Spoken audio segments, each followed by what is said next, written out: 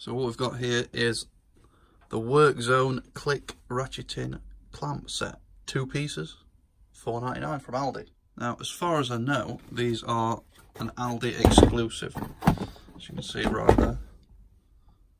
Produced for Aldi stores. Made in China, where all the best stuff's made. Keep away from children. Now just going through, uh, we've got a quick description. Two piece quick clamp set. 310 by 495 mil. Carpentry and general use. Let's get in here and see what we can do.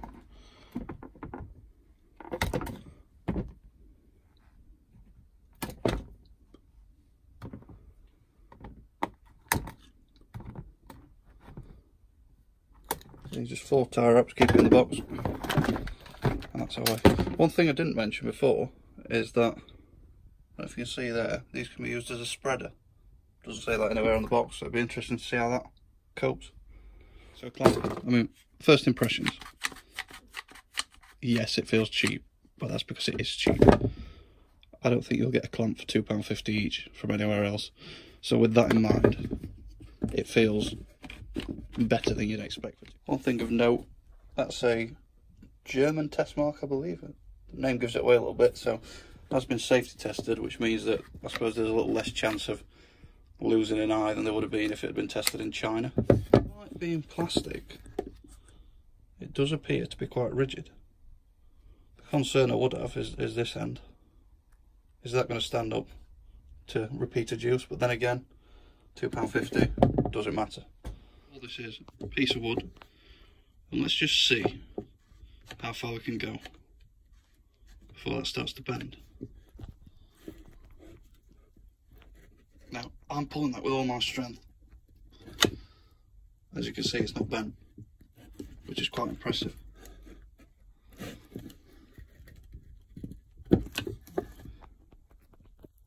If we just let that off, as you can see, just release the pressure at the back there. So if we just let that off a little bit, let's stick something in this big old vise. Made in England, proper vise. Just stick that in there.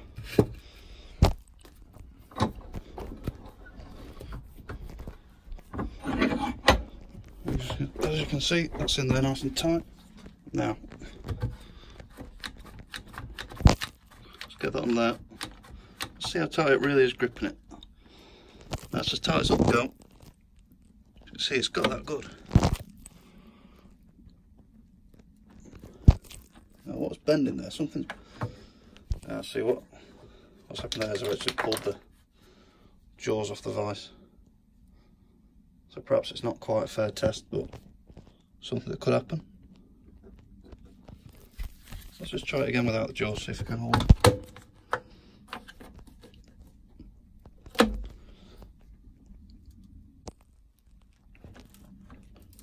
It's actually holding up a little better than you'd think. I've got that right on the end. And it's actually it's not come loose at all. What it's done is it's worked its way into the wood. So first impressions are it works as a clamp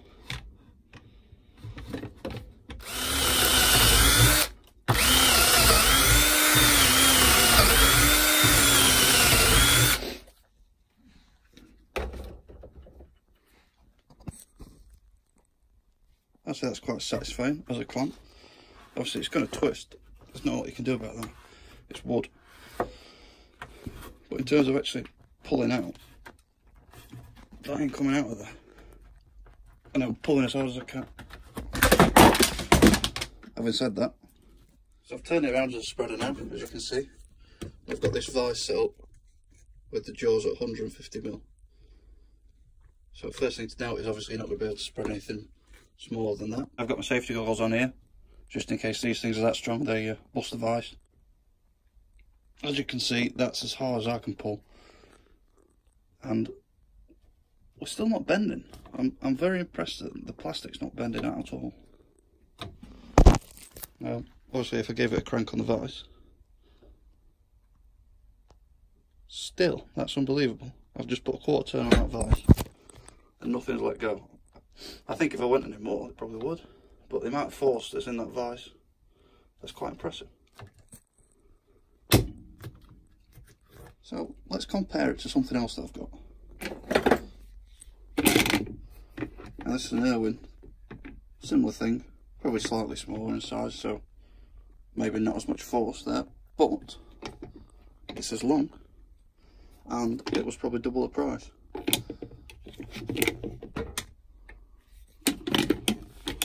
Side by side as you can see,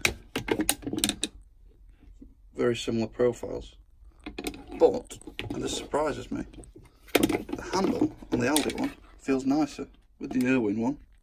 It's a, uh, a hard plastic handle, very sharp edge there, just dig into your hand, digs into the palm of your hand when you're using it. There's no comfort at all. On the Aldi one, you've got hard plastic again, but it's got a much nicer profile. And it's also been overmolded with a sort of soft rubberized handle. Again, overmolded. And if you look inside, handle's actually reinforced. Which the one. So my controversial opinion is that this Aldi clamp is better than a similar one made by a proper tool manufacturer, Irwin, and it cost half as much. Now, just out of interest, let's see what's actually going on inside here.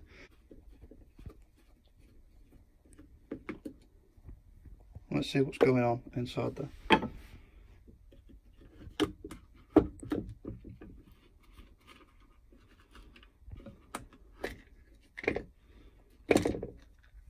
now we're inside, we can actually see how this thing works. So, pulling on the handle pushes these two pieces of metal over to the point where they dig in, then continuing to push, pulls the end of the clamp back. See that again.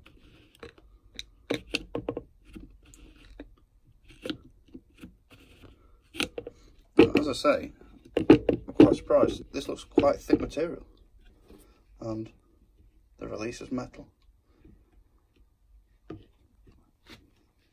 Overall, I'm pleasantly surprised with this. It's uh, it's two pound fifty. That's what you have to remind yourself. Are you going to get better than that for two pound fifty? And I think the answer is uh, is no. They must be selling these at a loss just to get you into the store. So would I buy Aldi tools again? Definitely. Not all of them. I would pick and choose. But when I see something like this come up, I won't pass it up.